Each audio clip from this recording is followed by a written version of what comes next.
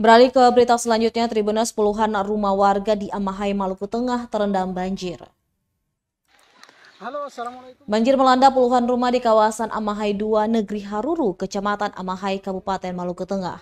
Banjir menggenangi kawasan tersebut sejak Jumat 26 Agustus 2022 sore kemarin.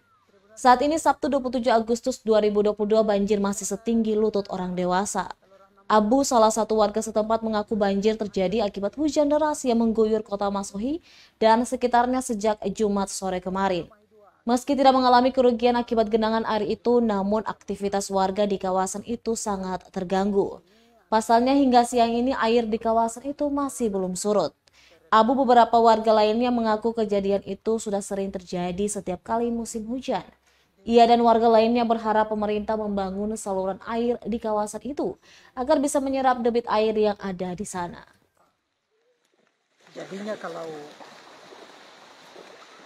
debit air yang semalam hujan seperti tadi malam itu Tribunat. Satu Tribunat. Ini kompleks Amahai 2 RT 21 Negeri Haruru ya. Kecamatan Amahai.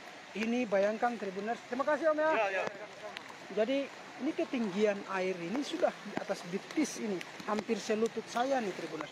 Ini air sudah dari jam berapa ini? Dari eh, apa? Kemarin ya? Dari jam 4 sore kemarin. Dari jam 4 sore ya. begini. Kondisi begini. Tadi malam saya. Tadi malam. Tadi malam setinggi ini atau atau lebih tinggi dari ini? Tadi malam ada sedikit tinggi lagi. Oh sedikit tinggi ya. Nah, sekarang ini setiap tahun begini ya? Setiap hujan begini. Ya, setiap hujan ini. Setiap hujan tahun ini sudah ini ada got di samping-samping enggak?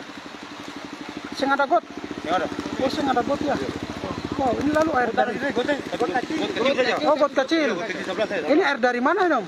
Air dari kali deng dari Kampung Baru Bugis Oh, dari Kampung Baru Bugis. Ya, ada air di dari situ ya. Oh, oke, ini air dari atas.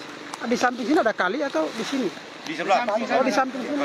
Berarti air tumpah dari sana ya. Luapan dari kali lagi. Uh, Tribuners, ini uh, kondisinya sudah terjadi sejak sore kemarin dan uh, lihat berat motornya tercelup. Nah, ya, kondisinya sudah dari kemarin sore seperti ini. Terima kasih sudah nonton. Jangan lupa like, subscribe, dan share ya.